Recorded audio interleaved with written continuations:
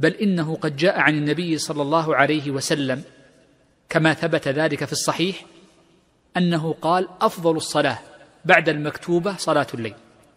وهذا القول من النبي صلى الله عليه وسلم يدلنا على أن صلاة الليل هي أفضل النوافل وأنها من أحب الأعمال إلى الله جل وعلا ولا يفضلها إلا الصلوات المفروضة الواجبة وهي الصلوات الخمس.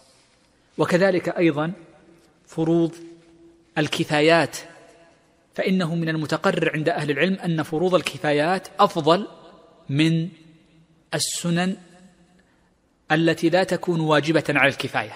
فصلاة العيد مثلا حيث قلنا إنها من فروض الكفايات وصلاة الجنازة تكون أفضل من قيام الليل لكونها واجبة على البعض.